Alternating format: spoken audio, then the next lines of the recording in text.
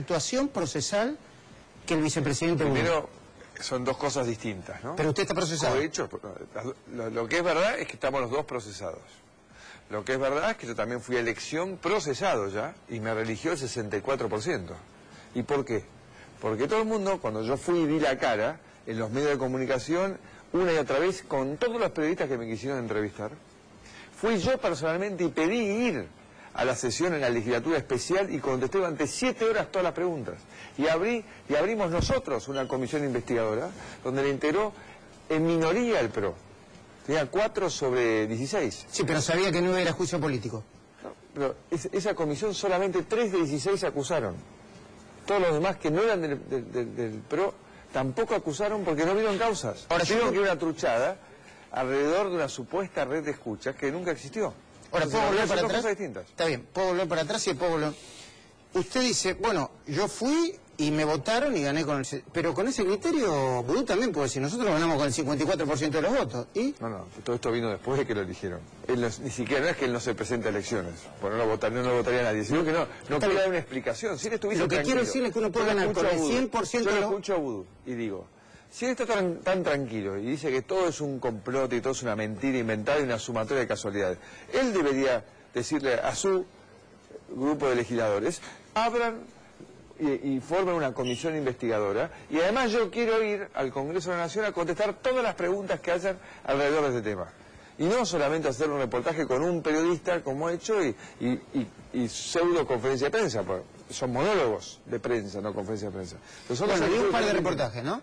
Sí, ah, por eso. A los periodistas que ya tiene, vamos a acordado qué es lo que, lo que, lo que va a contestar. ¿Vos escuchás esto? ¿Es suficiente la explicación para vos, María Julia, por ejemplo? La de Mauricio Macri. Sí. A mí me pareció un poco desafortunado, no sé si usted tira una autocrítica para hacer esta comparación sobre cuál delito es el más grave, ¿no? Que hizo a principios de esta semana. No, no, yo no dije eso. O sea, Yo- yo- no, eso fue un, ese fue un titular sacado del contexto. Lo que, uno, lo que yo digo y lo insisto es, no podés comparar una causa trucha de escuchas ilegales con un cohecho, con el nivel y, cantidad de, pruebas que hay. O sea, es, como querés comparar, no sé, son, son dos mundos distintos. Una cosa fue un invento de Yarvide, y otra cosa es esto que en sustancia todo el mundo lo ve, dice que existe. ¿Saben? La diferencia fue que cuando se vio y se recorrió el camino de las escuchas, todo el mundo se dio cuenta que era un invento. Esto fue lo que pasó. ¿Y ahora te gustaría estar sentado ya eh, para un juicio oral y público y que esta historia que supuestamente es mentira se termine, se aclare? Desde ya, desde el primer día lo dije. ¿Por qué y, no? y a- y ahora, pero ahora, increíblemente,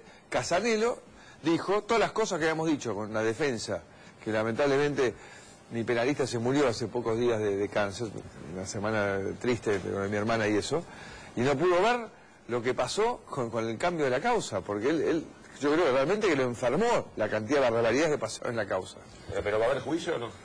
Y ahora parece, ¿no?, que Castellano dio, abrió a prueba todas las cosas que habíamos dicho y que se está demostrando que no hay causales. Que, ¿Y probablemente no haya juicio oral? Y posiblemente caiga, bueno, no me quiero apre- apresurar, pero lo que, ab- la cantidad de cosas que abrió hoy el juez Casarero reemplazando Yarvide van en línea a demostrar todas las cosas que hemos venido diciendo. ¿Tenés Que alguna también dijo una jueza en casación.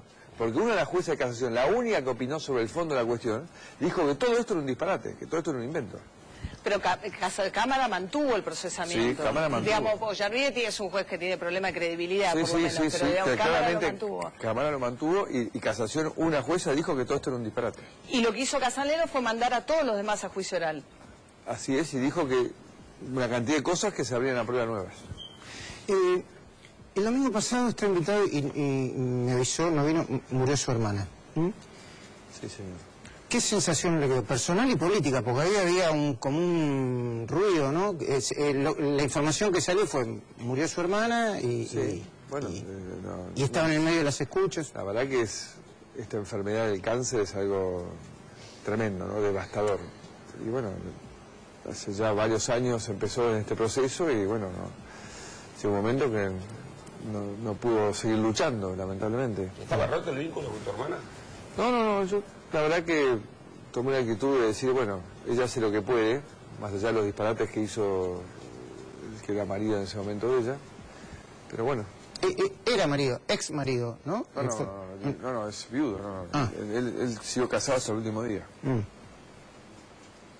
Porque quedó el ruido ese político y... y- No, no, todo lo que hizo él fue lamentable, pero bueno, se prestó a toda esa maniobra que, que- que se tejió desde el gobierno. Mm. Pero es- son temas familiares,